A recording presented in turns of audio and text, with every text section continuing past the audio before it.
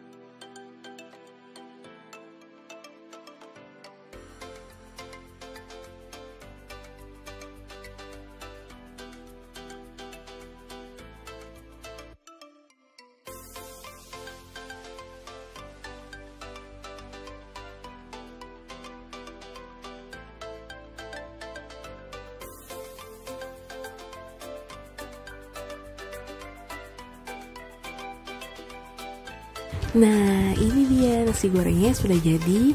Kalian biasanya olah sisa nasi di rice cooker itu untuk apa sih? Tulis ya di kolom komentar.